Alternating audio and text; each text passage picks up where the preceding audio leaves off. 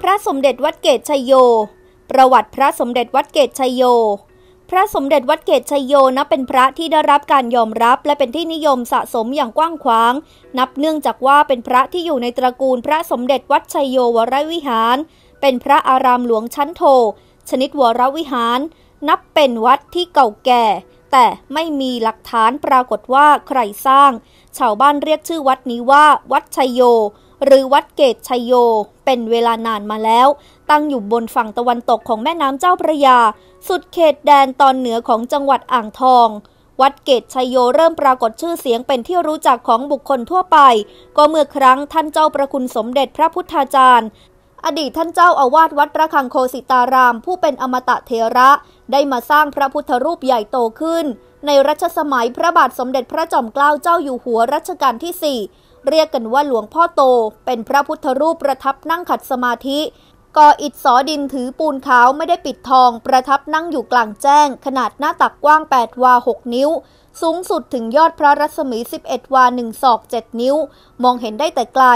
ต่อมาให้ชื่อว่า พระมหาพุทธพิมพ์ ในสมัยพระบาทสมเด็จพระจุลจอมเกล้าเจ้าอยู่หัวรัชกาลที่ 5 มีพระบรมราชโองการโปรดเกล้าให้เจ้าพระยารัตนบดินทร์ ที่สมุหานายกสำเร็จราชการกรมมหาดไทย เป็นแม่กองปฏิสังขรณ์วัดชโยขึ้นใหม่ทั่วพระอาราม เมื่อปีกุล พศ 2430 ตอนที่สร้างพระวิหารครอบพระมหาพุทธพิมพ์ ได้มีการกระทุ้งรากฝังเข็ม พระมหาพุทธพิมพ์ เป็นพระพุทธรูปใหญ่ ทนการกระเทือนไม่ได้จึงพังทลายลงมา และทรงพระกรุณาโปรดเกล้ารับสร้างพระพุทธรูปขึ้นใหม่ เป็นของหลวงทดแทนพระพุทธรูปที่ท่านเจ้าประคุณสมเด็จได้สร้างเอาไว้ และจากที่พระมหาพุทธพิมพ์ พังทลายลงมานี้เอง จึงได้พบพระพิมพ์เนื้อผงขาว ทรงสี่เหลี่ยมผืนผ้าเป็นจำนวนมาก เรียกกันว่า พระสมเด็จวัดเกตชัยโย เป็นที่ยอมรับและเชื่อกันว่า พระสมเด็จวัดเกตชัยโย เป็นพระเครื่องที่ท่านเจ้าประคุณสมเด็จ สร้างและบรรจุเอาไว้เพื่อเป็นพุทธบูชา และเป็นอนุสรณ์แด่โยมมารดาของท่านชื่อเกต ตามบันทึกของพระยาทิพโกษา และนายกษัตริย์ชุกร ซึ่งได้บันทึกจากการบอกเล่าของพระธรรมถาวรจันทโชตสามเณรที่ช่วยท่านเจ้าประคุณสมเด็จตำผงเพื่อสร้างพระสมเด็จ ประมาณปีพศ 2409 ที่วัดระฆังโคสิตาราม พระที่สร้างขึ้นในสมัยนั้น มีทั้ง 3 ชั้น 7 ชั้น ซึ่งพิมพ์ 7 ชั้นได้นำไปบรรจุไว้ที่วัดเกตชัยโยจังหวัดอ่างทอง พระสมเด็จวัดเกตชัยโยเป็นพระเนื้อปูนขาวองค์พระมักมีสีขาวมากกว่าสีอื่น ๆ ด้านหลังของพื้นฐานบางองค์เป็นรอยกาบหมากเห็นเป็นเส้น ๆ ได้ชัด พิมพ์ที่เป็นที่นิยมสะสมมี 3 พิมพ์คือพิมพ์ 7 ชั้น นิยมพิมพ์ 6 ชั้น อกตัน และพิมพ์ 6 ชั้น อกตลอด พระสมเด็จวัดเกตชยโยทั้ง3พิมพ์นี้ เป็นพระพิมพ์ทรงสี่เหลี่ยม เหมือนพระสมเด็จวัดระฆังโคสิตาราม การตัดขอบข้างทั้ง4ด้านจะมนแทบทุกองค์ รวมทั้งมุมทั้งสี่มุมด้วย มีกรอบกระจกจากพื้นผนังกรอบอีกชั้นหนึ่ง และมีพุทธลักษณะโดยรวมคล้ายๆกัน ต่างกันแค่ ที่ฐานอาสนะซึ่งมีเจ็ดชั้นและ6ชั้นเท่านั้น คือองค์พระประธานประทับนั่ง แสดงปางขัดสมาธิ ราบอกร่อง หูใบสี สถิตเหนือฐานอาสนะภายในซุ้มครอบแก้วด้านในกรอบกระจก เส้นซุ้มครอบแก้วจะคมชัด มีลักษณะเป็นเส้นโค้ง ครอบคลุมองค์พระจดเส้นกรอบด้านล่าง และในจำนวนพระสมเด็จวัดเกตชัยโยทั้ง 3 พิมพ์ พิมพ์ที่ได้รับความนิยมสูงสุดคือพิมพ์ 7 ชั้นนิยม ซึ่งนอกจากฐานจะเป็น 7 ชั้น จุดตำหนิเฉพาะสำคัญอื่น ๆ ในการพิจารณามีดังนี้ พระกันซึ่งเป็นหูใบสี พระกันข้างซ้ายจะเชิดสูงกว่าพระกันข้างขวา พระพักและพระสอดูรวมๆคล้ายหัวไม่ขีด องค์พระสภาพเดิมๆที่ติดคมชัด จะเห็นโคนแขนแทงเข้าไปที่หัวไหล่ ปลายฐานชั้นบนทางซ้าย องค์พระแหลมคมปลายสะบัดออก ปลายฐานชั้นล่างสุดทั้งสองข้าง จะเป็นเดือยวิ่งเข้าชนเส้นครอบแก้ว ปลายฐานชั้นล่างสุดทางซ้ายขององค์พระจะคล้ายเดือยไก่ซุ้มครอบแก้ว มีติ่งแหลมบนเข่าขวาขององค์พระ พระสมเด็จวัดเกตชัยโยนับเป็นพระที่ได้รับการยอมรับและเป็นที่นิยมสะสมอย่างกว้างขวาง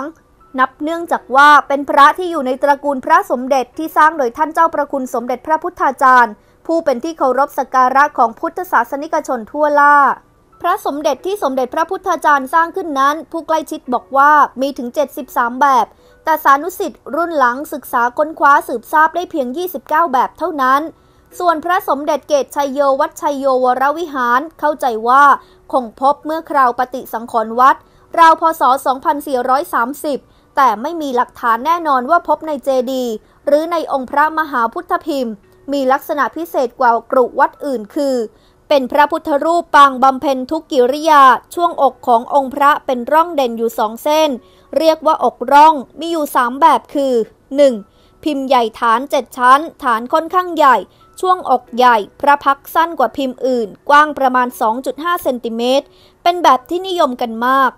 2. พิมพ์กลางฐาน 6 ชั้น องค์พระขนาดย่อมลงไปคือกว้างประมาณ 2.2 เซนติเมตร สูง 3.4 เซนติเมตร มีฐานกรอบองค์พระ 6 ชั้น มีทั้งแบบอกองค์พระตันครึ่งหนึ่ง และแบบอกเป็นร่องตลอด เส้นต่างๆ มีขนาดเล็กแบบหลังนี้จะมักเรียกว่ารุ่นพิมพ์อกร่อง หูยานฐานเส้นได้ 3. พิมพ์กลางฐาน 5 ชั้น พุทธลักษณะทุกส่วนงาม ทรงชลูด ช่วงแขนบีบเล็กลง แบบนี้ค่อนข้างหาดูตัวอย่างได้ยาก เนื่องจากการเวลาที่พบกรุพระสมเด็จเกตชัยโยรุ่นแรกจนถึงปัจจุบัน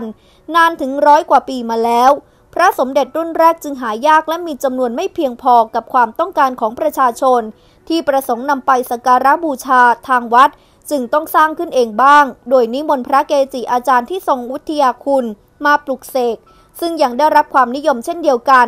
รุ่นที่มีชื่อเสียงมากอีกรุ่นหนึ่งก็คือ รุ่นเขื่อน เพราะสร้างเมื่อครั้งวัดต้องการสร้างเขื่อนริมแม่น้ำเจ้าพระยา เพื่อป้องกันตลิ่งพัง มีพระเกจิอาจารย์ร่วมทำพิธีปลุกเสก5รูป เมื่อวันอังคารที่ 8 เมษายน พศ